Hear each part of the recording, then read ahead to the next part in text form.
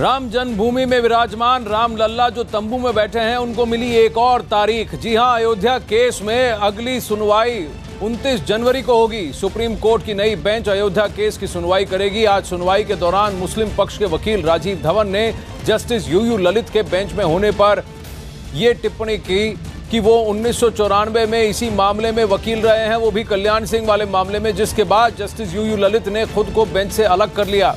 अब chief justice Ranjan Gogoi Ayodhya case पर नई बेंच बनाएँगे और संवैधानिक पीठ ही अयोध्या केस की सुनवाई करेगा।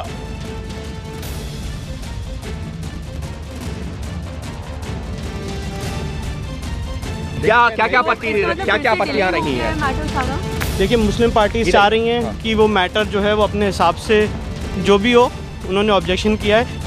बेंच के कॉम्पोजिशन के लिए जिसमें मैटर एडजेंट लेकिन आज सुनवाई के दौरान राजीव धवन ने यह भी कहा था कि वो उन्होंने सीधे तौर पर नहीं कहा कि यू यू ललित हटे। सीधे तौर पर नहीं कहा पर उन्होंने वो पॉइंट आउट किया जिसमें जस्टिस ललित ने कहा कि मैं इस मामले को फर्दर नहीं जजेस के बीच में आपस में सलाह मशवरा भी हुआ था इस, इसी चीज़ को लेकर के? हाँ सलाह मशवरा हुआ था और जस्टिस ललित ने डिसाइड किया कि वो मैटर फर्दर नहीं सुना उनतीस तारीख को क्या होगा? एक नई- बेंच फिर से नई बेंच बनेगी और कोर्ट ने ये भी डायरेक्ट किया रजिस्ट्री को कि वो मैटर जो ट्रांसलेशन अभी भी पेंडिंग है उसको कंप्लीट इसका क्या मतलब है? ये जो डॉक्यूमेंट रजिस्ट्री से मांगे गए हैं उसका क्या मतलब क्योंकि पंद्रह ट्रैक में सील रिकॉर्ड है तो कोर्ट खुद चेक करना चाहती है कि क्या ट्रांसलेशन हुआ है कि क्या नहीं हुआ। ये काम सरकार का है कोर्ट का है इस पर हम कोई टिप्पणी नहीं करते। कोर्ट जो भी करेगा हम उस, उस जो है उसको मानेंगे। हम साफ़ कहते हैं कि हम इससे राजनीति नहीं करते चाहे जो वकील हो चाहे जो जज हो जो भी वो करेंगे वो हम लोगों को मानना पड़ेगा। ये संविधानिक बात है। या तो धर्माचार्यों से मेरा आग्रह होगा कि जिएँगे तो राम का मंदिर बनना चाहिए और नहीं तो अब जिएँगे नहीं। उसके लिए सीने पर गोली खाने को तैयार हैं। जो ये पार्टी ने वादा किया, पीछे हट गई। अब इस पार्टी से मेरा आग्रह है कि तुम मंदिर नहीं बना सकते तो गोली चलवाने को तैयार हो जाओ। भारतीय जनता पार्टी के इस शासन में मुझे जेल भेजा गया। मुझे देशद्रोह की दफ़ा लगाई गई। मुझे उससे गम नहीं है, मुझे सूली पर चढ़ा दो। लेकिन रामलला अब टाट में नहीं रहेंगे।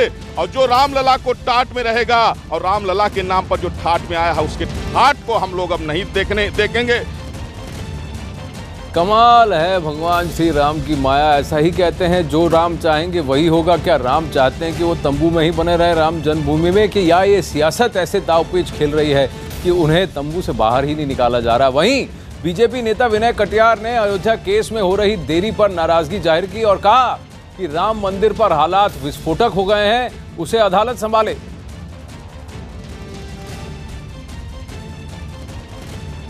जो स्थितियाँ हैं अदालत उसको संभाले। नहीं तो बड़ी विस्फोटक स्थिति बनती जा रही है।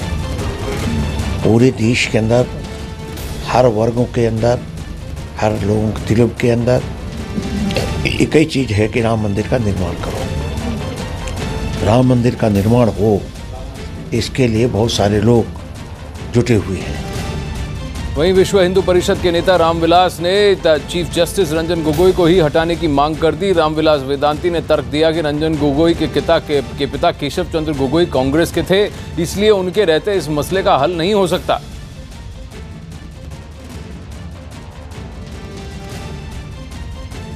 मेरा कहना यह है कि कल्याण सिंह मुख्यमंत्री थे राज्यपाल हैं उनके पूर्व वकील। यदि यू यू ललित को इस आरोप में हटाया जा सकता है कि कल्याण सिंह मुख्यमंत्री के वकील थे, इसलिए प्रभावित हो सकता है न्यायालय। तो मेरा कहना है कि केशव चंद गगोई के बेटे हैं माननीय जज महोदय गगोई जी। उनको भी हटाया जाए, उनको भी अपना नाम वापस ले लेना चाहिए कि मैं इस सुनवाई में नहीं रहूँगा। मेरा कहना यह है। सौ करोड़ हिंदुओं की भावनाओं को कुचलने का षड्यंत्र कांग्रेस ने किया है, जिसकी मैं घोर निंदा करता हूँ। बीजेपी से रोहित चहल और राजनीतिक विश्लेषक विषय विश्लेषक बेग्य पार्डन दुष्यंत नागर हमारे साथ अखाड़ा में उतर चुके हैं। अनुराग भदौरिया समाजवादी पार्टी से हमारे साथ जुड़ रहे हैं लखनऊ से, लेकिन सबसे पहले जाएँगे अयोध्या से अजीत सिंह और सुप्रीम कोर्ट से एहतशाम खान की तरफ़। एहतशाम खान, ये लीजिए एक और तारीख। क्या क्या जब जब बेंच का गठन हो रहा था, तब पता नहीं था इनको कि यू यू ललित एक केस में शामिल हो चुके हैं। राजीव धवन ने ओपनली तो ऑब्जेक्ट नहीं किया तो फिर क्यों ऐसा हो गया? फिर से एक तारीख मिल गई। अब यानी 2019 के चुनाव से पहले मंदिर का मसला तो हल होता नहीं दिख रहा, कम से कम कोर्ट में।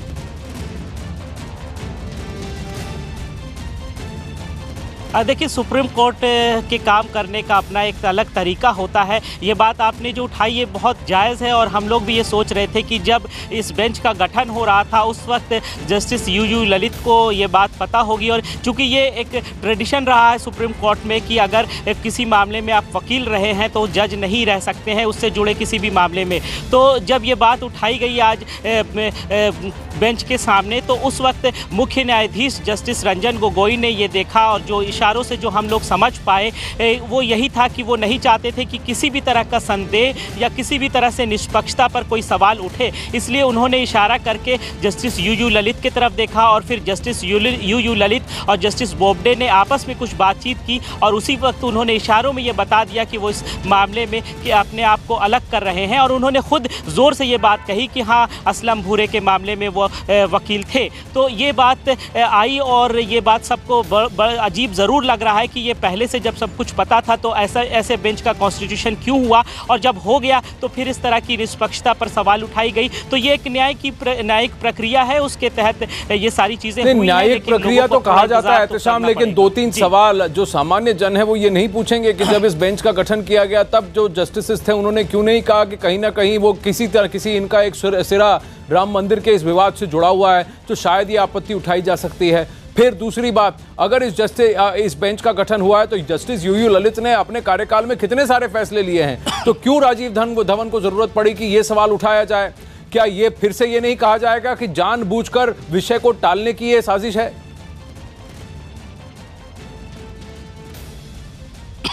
देखिए, एक पक्ष को ये लग सकता है ज़रूर कि शायद जानबूझकर टालने की कोशिश की जा रही है। और ये बात भी लोगों को, के सवाल जहन में ये सवाल आ रहा है कि जस्टिस रंजन गोगोई ने जब इस बेंच का गठन किया तो ये सारी चीज़ें उनको भी देख लेनी चाहिए थी। और ख़ुद जस्टिस यू यू ललित को खुद वो बात याद थी कि वो अपेयर हुए थे, क्योंकि जब ये मुद्दा उठाया गया राजीव धवन की तरफ़ से तो उन्होंने खुद बात कही जस्टिस यू यू ललित ने कि असलम भूरे केस। तो यानी कि उनको भी ये चीज़ें याद थी। तो अब ये सवाल ज़रूर है कि और ये समझ नहीं आ रहा कि ये इतना अहम मुद्दा है जिसको लोग चाहते हैं कि जल्द से जल्द इसका निपटारा हो। तो एक के बाद एक किसी वजह से ये मामला टलता जा रहा है। तो अब मुख्य न्यायाधीश को भी ये सारी चीज़ें सोचनी होंगी कि किसी और वजह से अब आगे कम से कम ये मामला ना टले। इससे पहले कि हम बहस में भिड़े आपस में इस अजीत सिंह की ओर रुख करना चाहूँगा। अयोध्या में क्या मातम छाया हुआ है? अयोध्यावासी क्या कह रहे हैं? बिल्कुल आनंद, अगर अयोध्या की बात करें तो अयोध्या के संत सबसे ज़्यादा नाराज़ और उन्होंने सरकार तक को अल्टीमेटम दे दिया और कहा कि अब संतों की चेतावनी है कि जो रामलला टाट में है और नेता ठाठ में है, यानी सीधा प्रहार है बीजेपी के ऊपर और ये कहा कि बिल तो लाते हैं लोग, लेकिन राम जन्मभूमि की बात नहीं करते और सत्तर सालों से मुकदमा, हमारे साथ संत भी मौजूद है, सीधे उन्हीं से बात करते हैं। दशरथ गद्दी के ब्रजमोहन दास जी हैं, क्या लगता है आपको इस फैसले के बाद अब? जी, इस फैसले से तो काफ़ी दुख हुआ है और संतों में काफ़ी इससे दुख और पीड़ा बहता है। और संतों को ही नहीं आप देख सकते हैं जितने हिंदू जनमानस हैं सबको कष्ट और पीड़ा है क्योंकि सब चाहते हैं कि सब चाहते हैं हमारे आराध्य रामलला जो आज टेंट में है वो टेंट से बाहर होकर उनका भव्य राम मंदिर बने अगला कदम क्या होगा आप लोगों अगला कदम संतों का यही होगा कि संत अब जगह जगह नुक्कड़ सभा करके और युवाओं को जगाएँगे हिंदू समाज को जागृत करके और जल्द से जल्द भव्य राम मंदिर बनाया जाएगा। आनंद आपने कितना संत नाराज़ है। महनगढ़ी के अ, जो हनुमानगढ़ी के महंत है राजू दास वो भी मौजूद है। क्या क्या कह रहे हैं अब आप? साधु संत अब उग्र रूप धारण करेंगे। जो चीज़ प्यार से नहीं मिलता है वो जिस प्रकार बाबरी मस्जिद ताकत के बल पे हिंदू जनमानस ने ध्वस्त कर दिया उसी प्रकार जनमत संग्रह से और हिंदू नौजवान जगेंगे और साधु संत बाहर आएँगे और एक अलग जगाएँगे कि हिंदू जनमानस को एक करेंगे और ताकत के बल पे अब मंदिर का निर्माण होगा। अब कोर्ट के ऊपर से राजनीतिक व्यक्ति के ऊपर से भरोसा खत्म हो गया है। सरकार पे आपको भरोसा था? सरकार के ऊपर तो लगातार हम लोग भरोसा करते करते पाँच साल उनकी उनको गद्दी पे बैठा है। हम लोगों ने लगातार हिंदू जनमानस के के पास जाकर और राम जन्मभूमि के पक्ष में हिंदुत्व के पक्ष में भाजपा को वोट करो भाजपा को तो देखा आपने आनंद कितना संत लगातार नाराज़गी जता रहे अब सरकार को चेतावनी कोर्ट को भी चेतावनी उनका कहना है कि अब हम बर्दाश्त नहीं करेंगे रामलला को तंबू में नहीं रहने देंगे। यानी आज जो तारीख पे तारीख पड़े उसको लेकर खासा संत कोर्ट और सरकार दोनों से नाराज़ हैं कि वो बिल नहीं ला रहे हैं और वो बिल्कुल और ये नाराज़गी कहीं ना कहीं जायज़ है भले ही उनकी मांग जायज़ हो ना हो भले ही वो वो तो ये चाहते हैं कि कोर्ट इस बात का निवारण करे और जो सरकार ने इनको वादा किया था और जो उनसे उम्मीद है उस पर खड़े उतरे। लेकिन रोहित चहल सबसे बड़ी बात यह है यहाँ पे आप फंस रहे हैं कि रामलला टाट में नेता भाई ठाट में। आप फंस रहे हैं यहाँ। आनंद जी देखिए मुझे लगता है कि जिस तरीके से आज हिंदुओं के अंदर एक रोष है जिस तरीके से आज फिर तारीख पे तारीख दे दी गई और कोर्ट को समझना चाहिए था कि ये तारीख तब कब तक देती रहेगी हिंदू कब तक इंतज़ार करता रहेगा। और मुझे लगता है कि एक फिर कांग्रेस का जो प्रयास था जिस तरीके से राजीव धवन जी को भेजकर। पहले कपिल सिब्बल ने बोला कि इसको तो 19 से चुनाव होगा तो जब राजीव धवन जी ने वही काम किया जिस तरीके से तो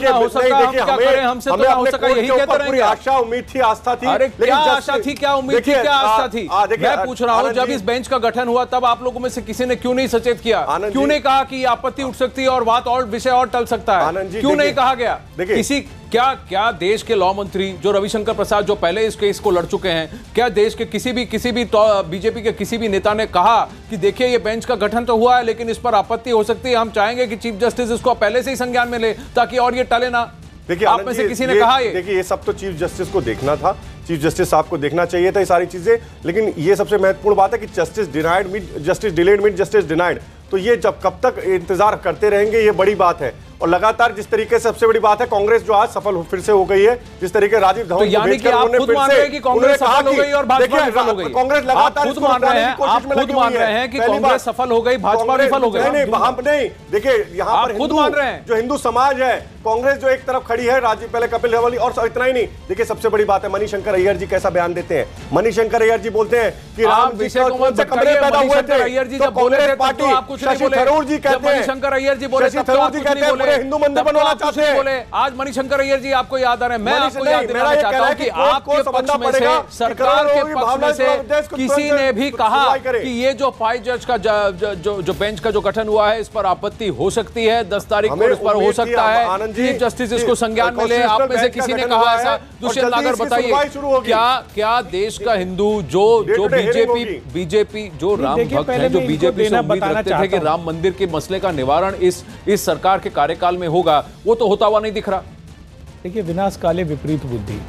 जब किसी का विनाश नज़दीक आता है तो उन लोगों की बुद्धि भ्रंग हो जाती है। आड़ पताल इधर उधर की गाने लगते हैं कुछ कुछ बोलने लगते हैं। इनको मैं बताना चाहता हूँ, हरीश सालवे जी, हिंदू पक्ष की तरफ़ से वकील हैं। वो भी कांग्रेस की सरकारों में महत्वपूर्ण पदों पर रह सरकार का प्रतिनिधित्व कर चुके हैं। तो क्या वो कांग्रेस के वकील हैं?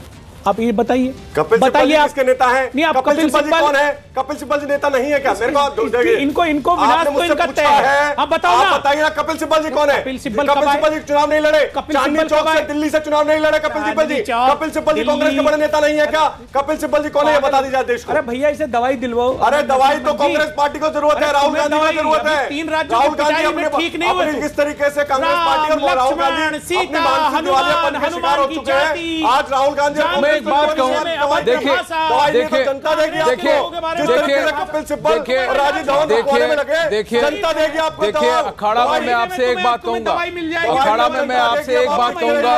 राम मंदिर के मसले में राम मंदिर के मसले में जहाँ जहाँ वो ढांचा तोड़ा गया उसमें जिन्होंने ढांचा तोड़ा उनको आज तक सजा नहीं मिली। वो एक बात उस पर भी मैं सवाल उठाता हूँ मैं पूछता हूँ कि जस्टिस वहाँ भी डिलेड है जस्टिस वहाँ भी डिनाइड है। दूसरी बात दूसरी बात जितनी सियासत खेली गई है राम के नाम पर उतना अगर काम किया होता और उतना राम के नाम पर अगर कंसेंसस की बात हुई होती तो तो ये ये मंदिर का मसला कब तक कब से सुलझ गया होता? दुष्यंत नागर कांग्रेस पार्टी ने आज तक कभी सामने से आकर ये नहीं कहा कि हम भी चाहते हैं कि कोर्ट जल्द से जल्द इसका फैसला करे। क्यों कांग्रेस पार्टी की तरफ़ से जो कांग्रेस के वक्ता है वो कोर्ट में खड़े होकर इसको टालने की साजिश रचते रहते हैं दुष्यंत नागर क्यों? राम नाम पे वोट लेंगे अंडरग्राउंड हो जाएँगे मंदिर के नाम पे। और आप राम का हिंदुओं की भावना भड़काएँगे अंडरग्राउंड हो जाएँगे हिंदुओं को फ़ायदा देने के नाम पे। भगवान। आतंकवादी पार्टी है। आप हिंदुओं का भगवा आतंकवादी कहेंगे। लोग को जुटना चाहिए लेकिन थोड़ा सा थोड़ा सा अपने गिरेबान में भी झाप पैदा हुए थे दस हज़ार थोड़ा सा कांग्रेस पार्टी अपने गिरेबान में भी झाँप कर देखे थोड़ा सा कांग्रेस पार्टी अपने गिरेबान में भी झाँप कर देखे थरूर जो आप जितना मर्ज़ी रोक लीजिए। मंदिर के स्थान पर बनेगा।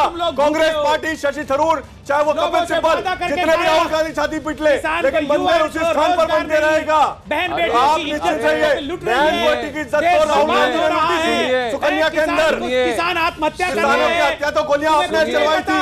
किसानों के ऊपर आज बात कर रहे हैं किसान लाठी खा रहा है।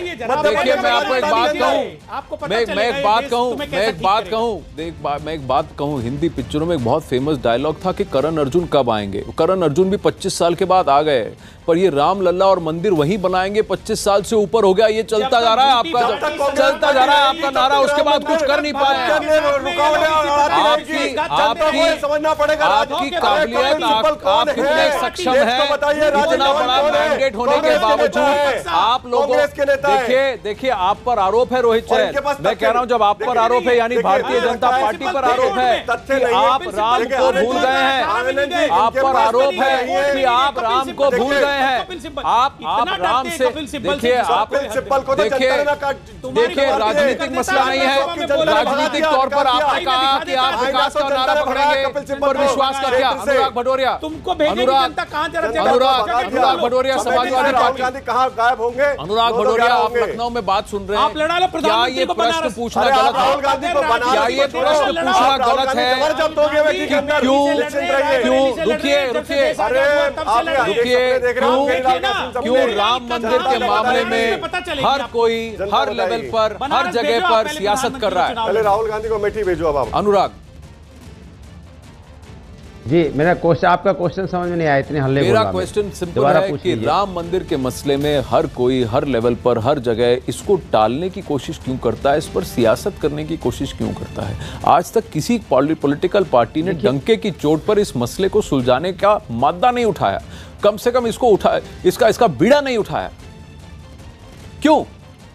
देखिए, आनंद जी, एक एक चीज़ तो आपको माननी पड़ेगी, ये हमारा लोकतंत्र बहुत मज़बूत है और लोकतंत्र संविधान और न्यायपालिका को हम लोग मानते हैं। संविधान को ही मानोगे, न्यायपालिका ही मानना पड़ेगा, तभी ये लोकतंत्र बच पाएगा। अगर आप संविधान और न्यायपालिका को नहीं मानोगे तो क्या हम इसको पाकिस्तान, अफ़गानिस्तान बना दें? संविधान, न्यायपालिका की वजह से इतना बड़ा मज़बूत लोकतंत्र इस देश के अंदर चल रहा है, सबको अपनी बात कहने का अधिकार है। हम न्यायपालिका में पूरा विश्वास रखते हैं। प्रधानमंत्री जी ने भी न्यायपालिका में विश्वास जताया। मुझे लगता है कि हम इतनी बहस से अच्छा हम न्यायपालिका में आस्था रखें, विश्वास रखें ना जाने कितने ऐसे केसेस हैं न्यायपालिका में जिससे हमें हम सहमत हो सकते नहीं भी सहमत होते लेकिन न्यायपालिका का सम्मान आपको करना पड़ेगा जो उनका आदेश होगा जो न्यायपालिका बोलेगी हम उसको मानेंगे हम मानेंगे न्यायपालिका का- संविधान संविधान हर कोई करता है। अगर काम न्यायपालिका भी तो होगी। न्यायपालिका भी मसले को जब अपने संज्ञान में लेती है लेती है तो वो जनता के सेंटिमेंट जो जो उसकी पैरवी कर रहा है जो अपील कर रहा है उसकी उसके उसके आर्गुमेंट्स उसके आर्गुमेंट्स की तेज़ी कर रहा है, कौन उसके नहीं कर रहा मुझे तीव्रता इससे पर कोई लेना देना नहीं है, मुझे सिर्फ़ इतना मतलब है न्यायपालिका अपना क्या आदेश देती है न्यायपालिका को कोई प्रभावित नहीं कर सकता। कोई प्रभावित देश के अंदर में न्यायपालिका को पे हम तो सबको यकीन होना चाहिए। अगर इसको- इसको न्यायपालिका पे प्रभावित यकीन करना छोड़ देंगे, तो देश बहुत गलत हो जाएगा एक- बात बताइए, एक बात बताइए अनुराग रहने एक बात बताइए अनुराग मेरी- सबसे एक बात बताइए अनुराग कर्नाटक के इलेक्शन के का कर्नाटक के चुनाव के न्यायपालिका का अभिषेक मनु सिंघवी ने देर रात तीन बजे जब कोर्ट का दरवाज़ा खटखटाया तब किसी ने ये नहीं कहा कि कोर्ट पर दबाव डाला जा रहा है। तब तो ये कहा जा रहा था कि डेमोक्रेसी को बचाने के लिए आपने कोर्ट का दरवाज़ा खटखटाया और कोर्ट ने जवाब दिया। तो कोर्ट ने संज्ञान में लिया कि विषय की तीव्रता कितनी है और विषय की क्या बात कर रहे हैं ये मैं कह रहा हूँ कि यहाँ पर आज किसने ये कहा है? न्यायपालिका है? हैं है अजीत जी हैं? हैं आदेश है? हम लोग। करना भी चाहिए। तभी देश की देश की अच्छा है, है, है,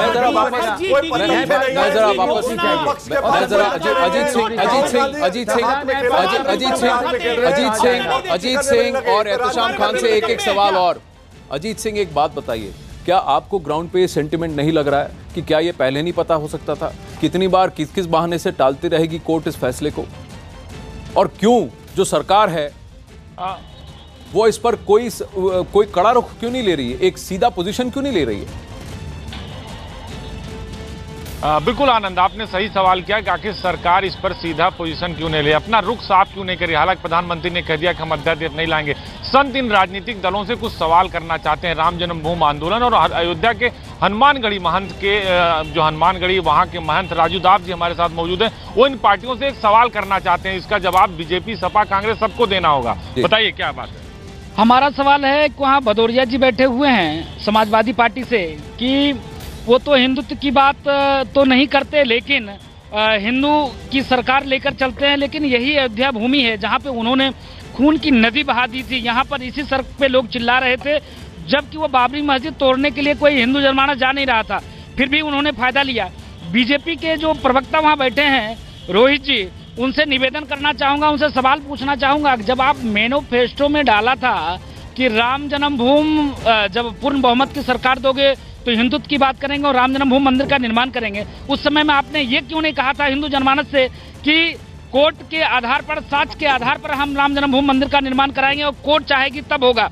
शुद्ध रूप से आप राजनीतिक दल के लोग राम जन्मभूमि के नाम पर हिंदुत्व को बरगला कर आप फ़ायदा लिया, किसी ने मुसलमान को डराकर अपने पक्ष में किया, किसी ने हिंदू को बरगला कर अपने पक्ष में किया, राम जी को क्या मिला? राम जी तो आज भी टेंट में है, आपके कपड़े देखिए कितने मस्त हैं, मेरे कपड़े देखिए कितने मस्त हैं, लेकिन राम जी आज भी ठाट में है, कल भी ठाट में थे।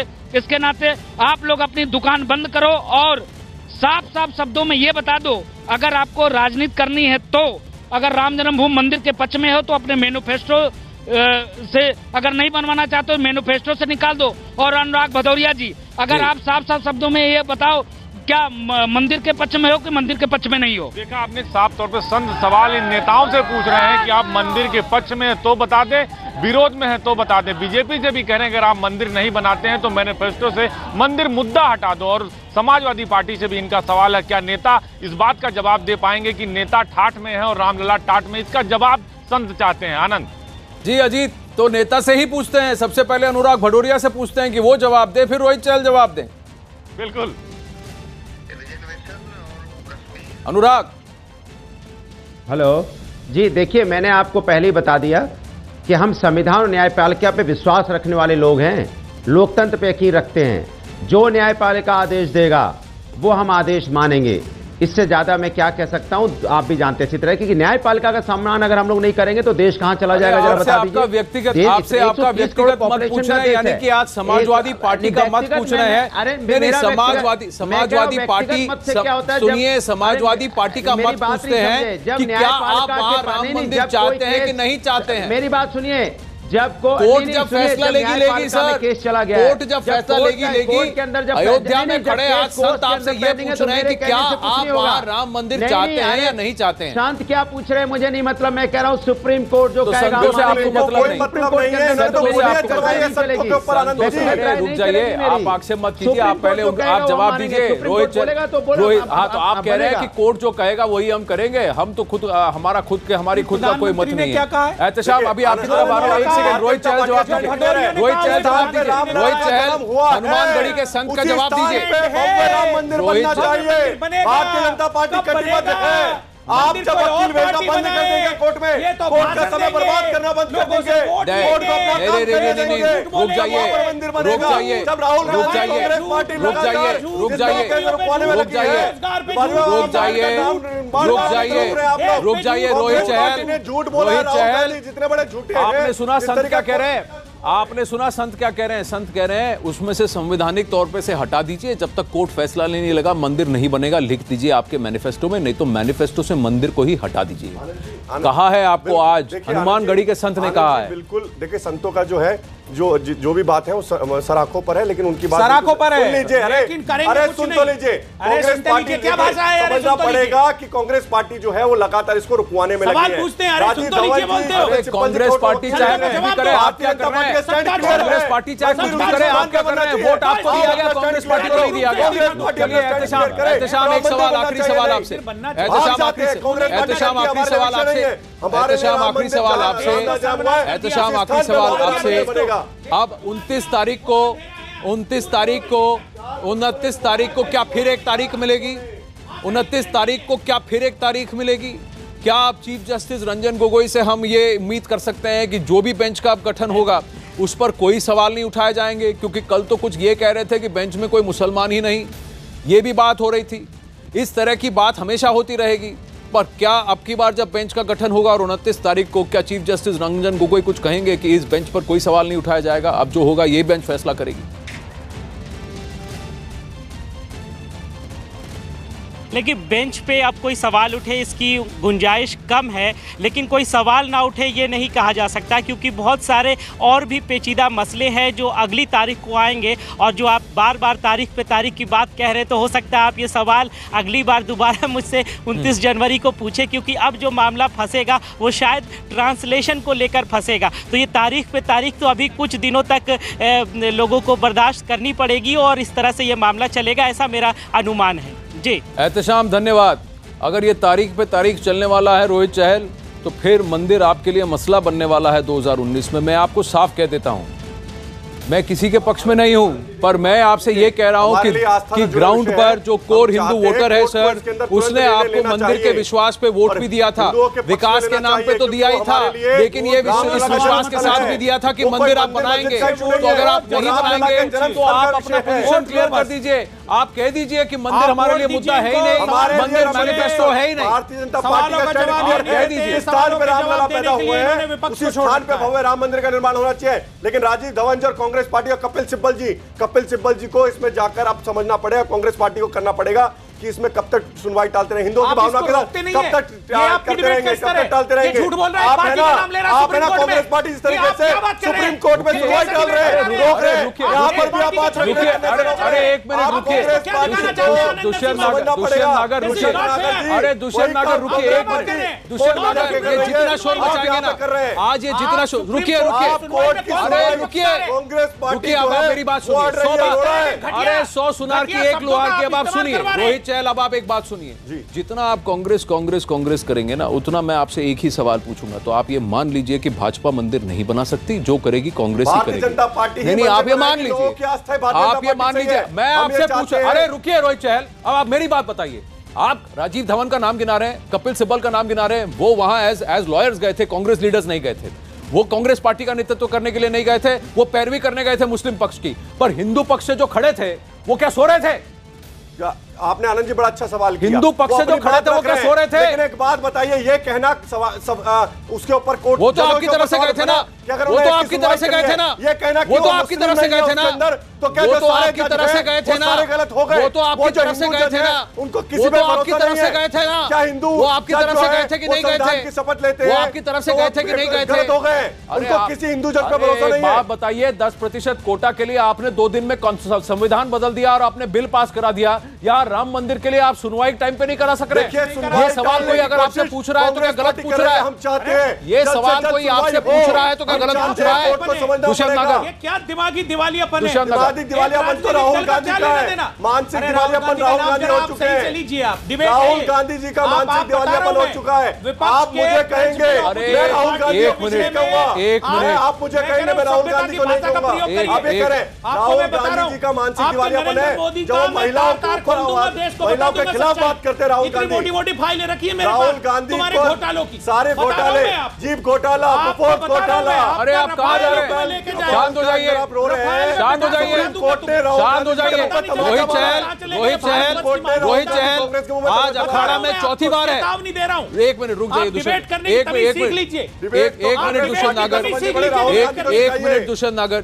एक मिनट एक मिनट रोहित चहल आज महिला विरोधी महिला अरे रुक जाइए रुक जाइए रुक जाइए विषय विषय पर विषय पर बहस कीजिए। विषय पर बहस कीजिए। रोहित चहल विषय पर बहस कीजिए। रोहित चहल विषय पर बहस कीजिए। दुष्यंत नागर एक मिनट। रोहित चहल आज ये चौथी बार है अखाड़ा में। चौथी बार है अखाड़ा में रोहित चहल जब जब सवाल मंदिर का होता है आप विषय दूसरा उठा रहे हैं। जब जब आप विषय को बदल बरगलाने की कोशिश करेंगे और जिससे भटकाने की कोशिश करेंगे तब तब मैं आपसे यही करूँगा कि देखिए आप फंस रहे हैं मंदिर के मामले में। आप फंस रहे हैं आप पर प्रेशर बन रहा है कि या तो आप कुछ कीजिए कि ये सुनवाई जल्द से जल्द हो कोर्ट फैसला जल्द से जल्द ले। या बिल्कुल फिर नहीं, आप देखिए, हमारे आप लिए दूसरे बिल्कुल संवैधानिक तरीके अपनाइए। आप दूसरे संवैधानिक तरीके या फिर आप सामने आके कहिए देखिए हम माफ़ी चाहते हैं हम कान पकड़ते हैं। राम लल्ला हमें माफ़ करो।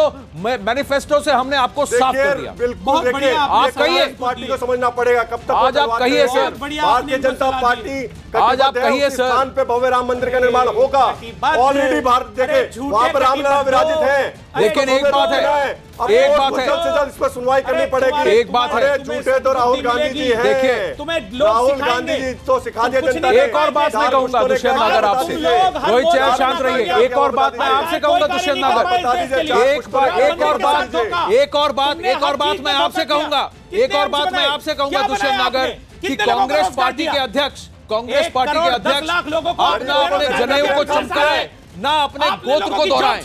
देखिए कांग्रेस पार्टी के अध्यक्ष ना अपने जनेऊ को चमकाए ना अपने गोत्र को दोहराए जब तक वो ये नहीं कहते कि हम चाहते हैं वहाँ राम मंदिर बने। दुष्यंत नगर मैं आपसे चाहूँगा कि आप एक पोजीशन लीजिए कि कांग्रेस पार्टी चाहती क्या है। वहाँ मंदिर चाहती है कि नहीं चाहती है? स्टैंड क्लियर कीजिए। ये ये ये ये आपको करना होगा क्योंकि जनेऊ चमकाना देखिए, और अपने आप को राम भक्त शिव भक्त बताना बहुत आसान है। लेकिन मंदिर पर पोजीशन लेना बहुत मुश्किल है।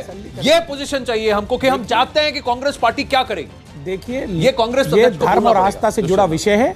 भारत का प्रत्येक नागरिक चाहता है वहाँ राम मंदिर बने। कांग्रेस पार्टी चाहती है क्या? किसी से पूछ लो मैं चाह रहा हूँ यही देगा जवाब। आपने बदतमीजी कराने के लिए बुला लेते हैं आप ऐसे व्यक्तियों को आप। आप बैठिए आप बैठिए आप बैठिए। जवाब नहीं है। जवाब नहीं है। माननीय सुप्रीम कोर्ट रोहित चहल रोहित नहीं। चहल रुक जाइए। देखिए, नगर सवाल कांग्रेस के नेताओं ने सैकड़ों बार कहा है हज़ार बार कहा है आपके चैनल पे कहा। है कि जो सुप्रीम कोर्ट का फैसला होगा उसको मानेंगे। देश के प्रधानमंत्री ने क्या कहा गांधी ने आज तक एक बार नहीं देश के प्रधानमंत्री ने क्या कहा? गांधी ने आज तक एक बार नहीं फैसला कहा। आएगा, मैं तो न्यायालय का राहुल गांधी ने आज तक एक बार नहीं कहा।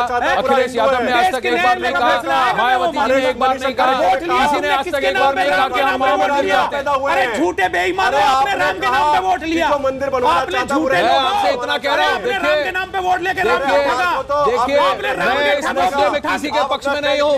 सब राजनीति कर रहे हैं।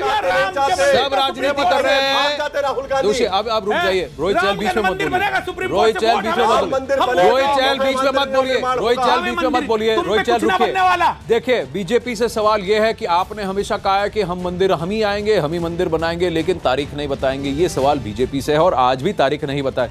आज भी तारीख नहीं बताएँगे लेकिन दुष्यंत नागर कांग्रेस पार्टी से सवाल यह है कि आपने तो आज तक ये भी नहीं कहा कि हम वहाँ मंदिर बनाएँगे। आपने तो आज तक ये भी नहीं कहा कि हम। वहाँ राम मंदिर चाहते हैं। आप। सिर्फ़ तारीख पे तारीख की बात करते हैं उसी की पैरवी आप करते हैं। हिम्मत रखिए। आरोप ये है। 27 दिसंबर उन्नीस का अखबार निकाल लीजिए। संघ के दोनों अंग्रेज़ी और हिंदी के अखबार निकाल लीजिए। क्या रिपोर्टिंग हुई क्या लिखा? तत्कालीन गृह मंत्री बूटा सिंह जी ने हिंदू और मुस्लिम नेताओं के साथ बात करके समस्या का समाधान निकल गया आपके अखबारों में छप गया। लेकिन तत्कालीन संघ के अध्यक्ष बाबा साहब देवरस जी ने कहा नहीं हिंदू समाज जाग चुका है हिंदू समाज इस आंदोलन से जुड़ चुका है। हम इस आंदोलन से सरकार बनाएँगे देश में हिंदू राष्ट्र स्थापित करेंगे। अरे अशोक बताइए सिंघल अशोक सिंघल ये समझौता मत मान लेना अशोक सिंघल तुम ये समझौता मत मान लेना ज़्यादा खतरनाक सिंह ने किताब लिखी अच्छा ये अब आप रुकिए अब आगे बढ़ रहे हैं। नहीं नहीं दुष्यंत नागर रुके दुष्यंत नागर दुष्यंत नागर दुष्यंत नागर वापस आए। दुष्यंत नागर एक और विषय आगे बढ़ रहे हैं मंदिर से। मंदिर से आगे बढ़ रहे हैं। आप आइए अखाड़ा में दुष्यंत नागर। मैं आपसे फिर आग्रह करूँगा आप आइए वापस। आपकी कुर्सी अभी तक वहीं रहेगी। आप आइए अंदर बाहर थोड़ा पानी पीजिए वापस स्टूडियो वापस अंदर चलिए आगे बढ़ते हैं अखाड़ा में। दुष्यंत नागर जब तक लौट के आएँगे।